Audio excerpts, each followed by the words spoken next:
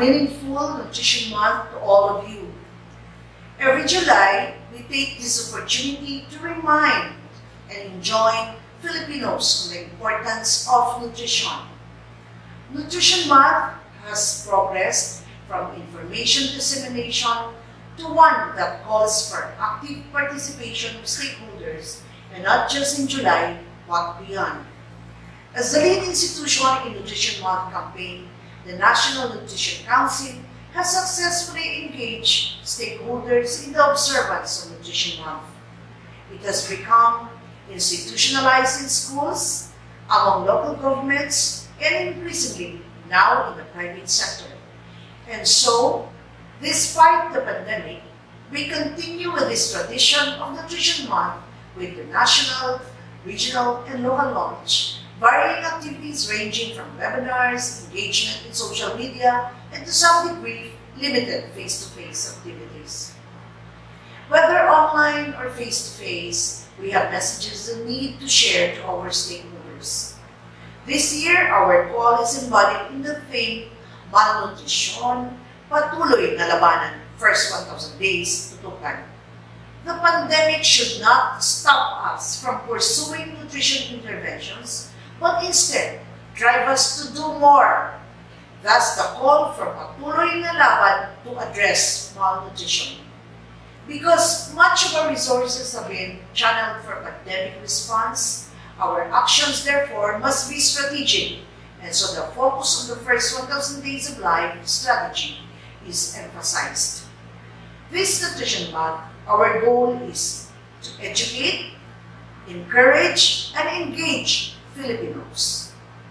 Educate because there is still limited awareness on the Philippine Plan of Action for Nutrition and the first 1,000 days, as evidenced by studies. While people are more, more aware now of nutrition, the challenge is practicing the positive behavior or nutrition behaviors to prevent malnutrition. This is why we encourage Filipino families to participate in nutrition interventions. And third, because of the complexity and scale of malnutrition in the country, we need to engage all stakeholders to participate in efforts to end all forms of malnutrition. As our partners in nutrition, I hope that you will join us spread these four key messages of Nutrition Month. First, for the pregnant woman, kumain ng sapat para tamang weight gain ang katapat. Ang ating mga buntis, ang pag-asa ng bayan, because it is during pregnancy that a person's full potential can be achieved, and we must make sure that they are all well-nourished. And the second message is intended for all families. Maging madiskarte sa pagpapakain kay baby. We need to support families so that they can ensure nutrition and care in the first two years of a child. Babies need to be exclusively breastfed in the first six months. Then, starting six months, be given appropriate complementary feeding with continued breastfeeding. By equipping them with knowledge on proper nutrition and supportive services, we empower families to help themselves. And the third message targets the local chief executives. Nutrisyon ng aking bayan, aking pananagutan.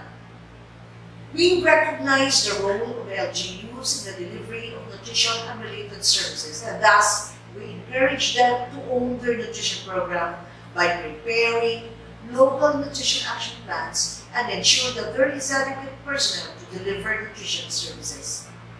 DBM, or the Department of Budget and Management, has issued several local budget memos to support this call, with the latest being Local Budget Memo number 82.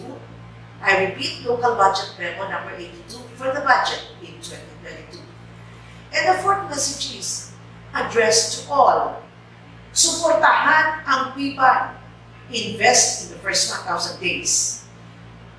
Because it takes the whole of society to ensure good nutrition.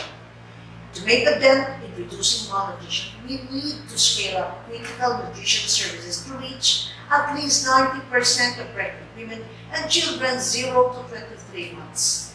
This needs to be supported with nutrition-specific programs that yield nutrition benefits such as water, sanitation and hygiene, and green consumption care. The National Nutrition Council has lined up several activities this July to educate, encourage, and engage everyone. So do check these activities in the NNC website and our social media channels. I am sure that you, our partners, have also prepared activities along this line. As I end my message, let me share our call to action. Let us all work together to eliminate all forms of malnutrition and raise a new Laking 1,000 generation of Filipinos achieving their full potential.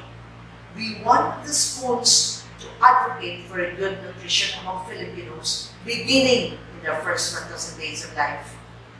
Sa PPAN, panalo ang bayan. Thank you and I look forward to new and continued collaboration with you.